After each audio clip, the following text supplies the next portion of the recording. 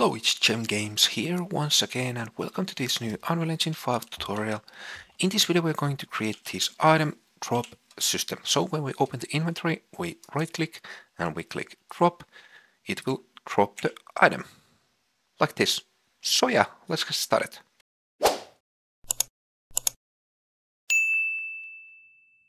First we want to go to the interfaces folder and we want to open the interactable blueprint interface. And we want to add a new function here and this will be called set amount. And I did a little mistake. Okay, now it's better. And we want to add an input.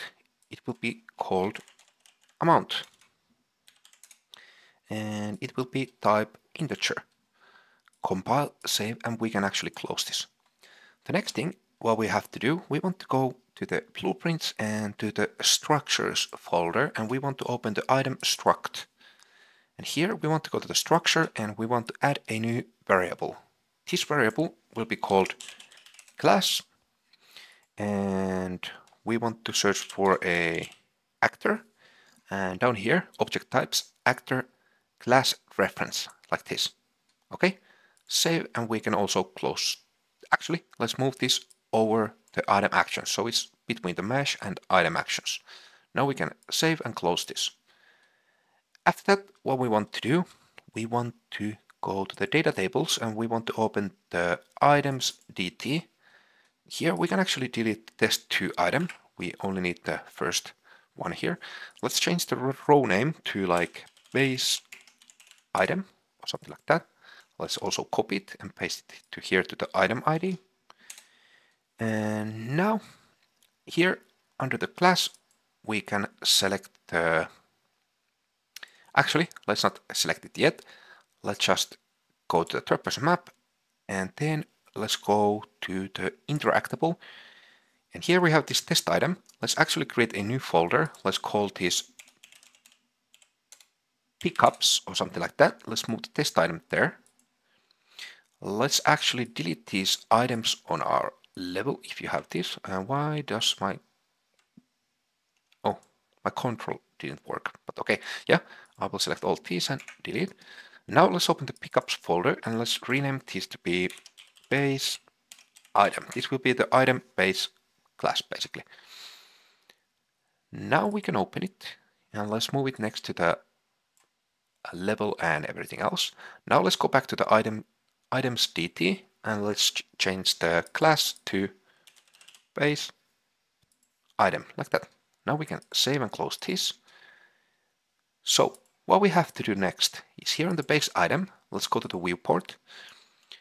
One thing is we want to select the item and we want to first we want to simulate physics from here then we want to change the collision preset to custom. Now we can change here the pawn and the world dynamic to overlap like that. Now one more thing that we have to do, now that we have simulated the physics, we want to put all these under the item. So let's select everything else like this and move them under the item like this okay? Because otherwise, when we simulate the physics on this one, these will not follow the item. Now they will because they're attached to that, basically. So let's compile, let's save. And actually, one more thing. Here on the item ID, let's change, change it to be the base item. And also, let's make this not instance editable and not expose on spawn anymore. Okay, and let's also change the interaction text to like base item, something like that. Let's compile, let's save, let's go back to the third person map. Now we want to go to the components and we want to open the BPC inventory. And here on BPC inventory, we can close everything else and we want to create a new function. This will be called drop item. Here we have to add three inputs. The first one will be called, uh, sorry, let's call it class. Uh, let's search for a actor. And again here, actor class reference, like that. The second input will be called amount and it will be type integer. And the third one will be called index and it will be also the integer. Now we want to create a two local variables. The first one will be called dropped and it will be boolean and the second one will be called uh, trace length and it will be type float and let's compile and let's select the trace length and let's set the default value to I think 80 is pretty good okay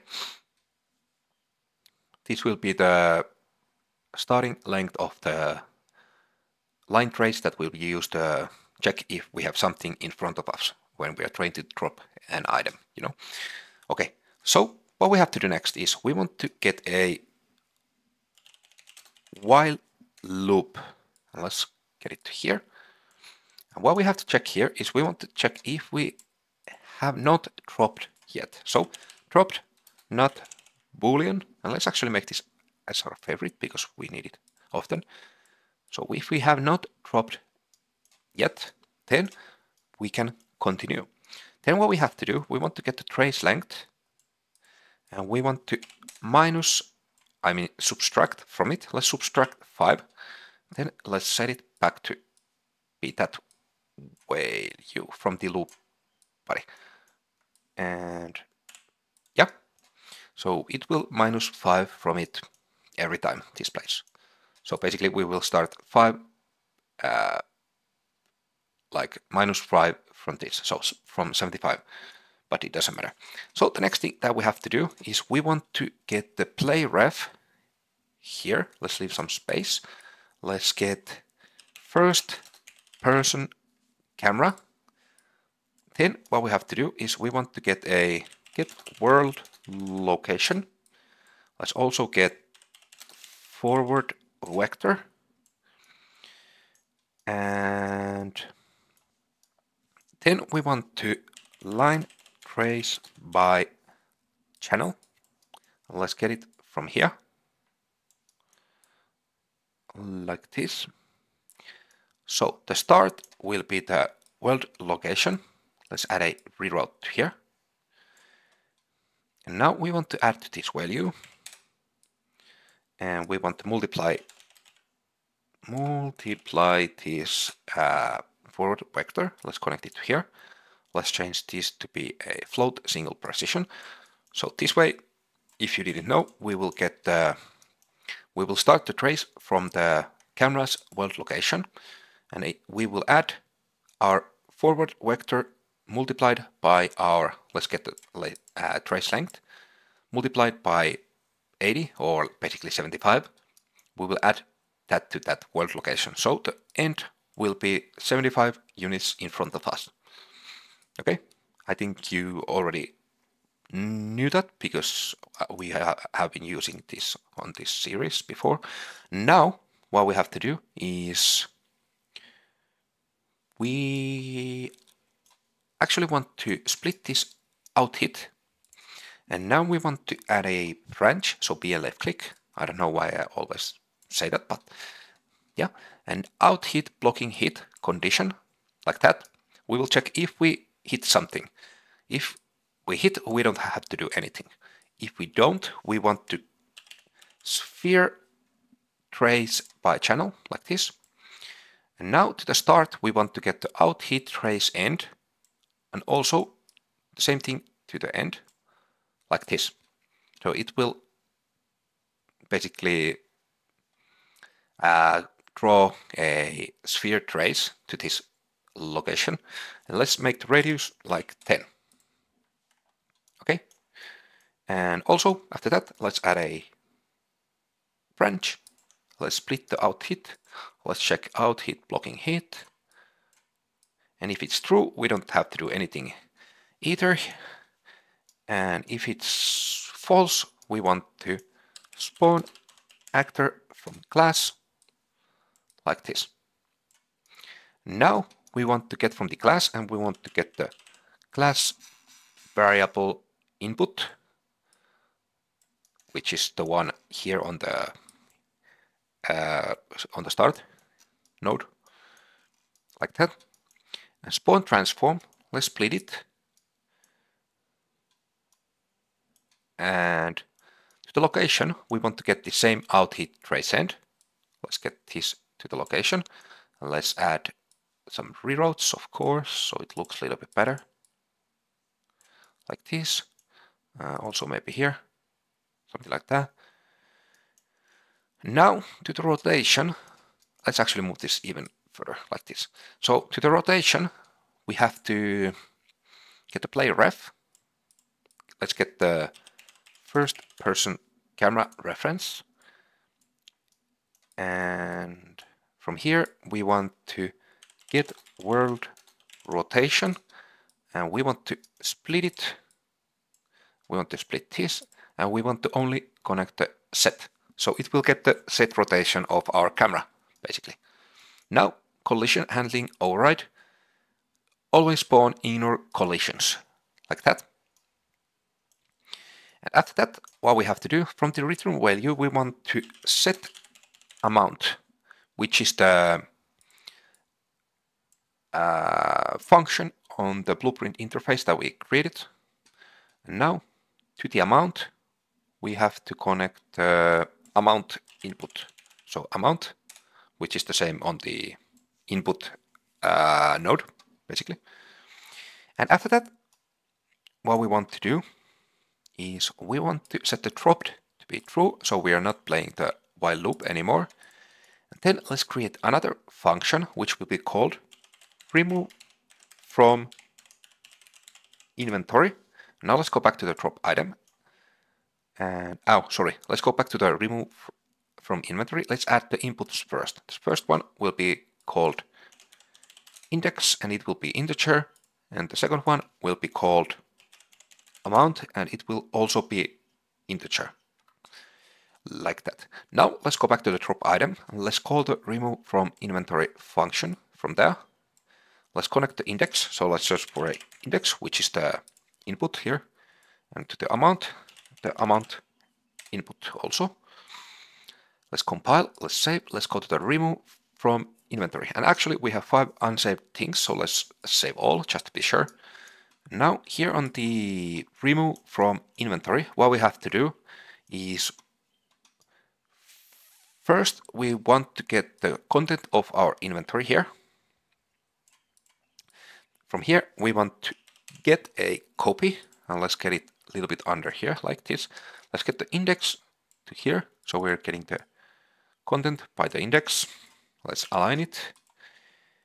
And now also from this content, we want to set array element. Let's leave some space. Now we want to split this, also split this. And actually, let's move this a little bit further down like this. The item ID, let's connect it straight to here and let's actually align it better like this. And to the item amount, let's get this amount and let's subtract.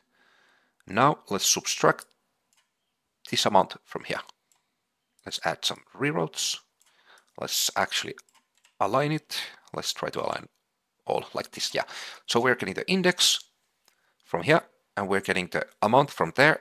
We're subtracting the amount input from it. And then we're connecting this back to the item amount like that. And also here to the index, we want to get this input. So let's search for it. So index, get index.